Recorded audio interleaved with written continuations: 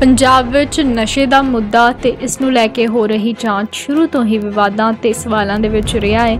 ਹੁਣ ਇਸ ਨੂੰ ਲੈ ਕੇ ਮੁੱਖ ਮੰਤਰੀ ਭਗਵੰਤ ਮਾਨ ਨੇ ਵੱਡਾ ਐਕਸ਼ਨ ਲਿਆ ਹੈ। ਨਸ਼ਾ ਤਸਕਰੀ ਮਾਮਲੇ ਦੇ ਵਿੱਚ ਪੀਪੀਐਸ ਰਾਜਜੀਤ ਸਿੰਘ ਨੂੰ ਨਾਮਜ਼ਦ ਕਰਕੇ ਨੌਕਰੀ ਤੋਂ ਬਰਖਾਸਤ ਕੀਤਾ ਗਿਆ।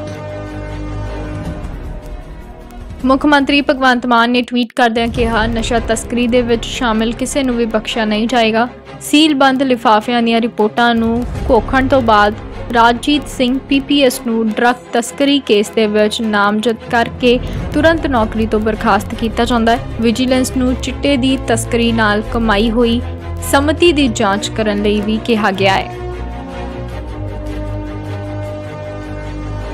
ਮਾਮਲੇ ਵਿੱਚ ਪੰਜਾਬ ਦੇ ਮੁੱਖ ਮੰਤਰੀ ਭਗਵੰਤ ਮਾਨ ਨੇ ਵੀ ਏਆਈਜੀ ਦੀ ਜਾਇਦਾਦ ਦੀ ਜਾਂਚ ਦੇ ਹੁਕਮ ਦਿੱਤੇ ਨੇ।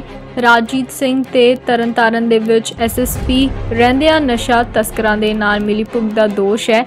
ਰਾਜਜੀਤ ਸਿੰਘ ਹੁਸ਼ਿਆਰਪੁਰ ਅਤੇ ਮੋਗਾ ਦੇ ਵਿੱਚ ਵੀ ਐਸਐਸਪੀ ਰਹਿ ਚੁੱਕੇ ਨੇ। ਰਾਜਜੀਤ ਸਿੰਘ ਸਮੇਂ ਏਆਈਜੀ ਐਨਆਰਆਈਜ਼ ਦੇ ਅਹੁਦੇ ਤੇ ਸਨ। ਪੰਜਾਬ ਦੇ ਵਿੱਚ ਪਹਿਲੀ ਵਾਰ ਕਿਸੇ ਸੀਨੀਅਰ ਪੁਲਿਸ ਅਧਿਕਾਰੀ ਨੂੰ ਨਸ਼ੇ ਦੇ ਦੋਸ਼ ਦੇ ਵਿੱਚ ਬਰਖਾਸਤ ਕੀਤਾ ਗਿਆ। ਇਸ ਦੇ ਨਾਲ ਹੀ ਪੰਜਾਬ ਵਿਜੀਲੈਂਸ ਬਿਊਰੋ ਰਾਜਜੀਤ ਸਿੰਘ ਦੀਆਂ ਜਾਇਦਾਦਾਂ ਦੀ ਜਾਂਚ ਕਰੇਗੀ। ਚੰਡੀਗੜ੍ਹ ਤੋਂ ਬਿਊਰੋ ਰਿਪੋਰਟ ਐਨ7 ਨਿਊਜ਼